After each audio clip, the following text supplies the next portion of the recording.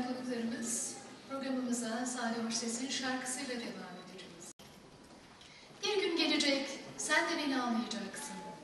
Ettiklerine nadim olup ağlayacaksın. Heyhat, o zaman aşkını bulamayacaksın. Ettiklerine nadim olup ağlayacaksın. Bu şarkıyı solistimiz İnayet Doğan seslendirecek.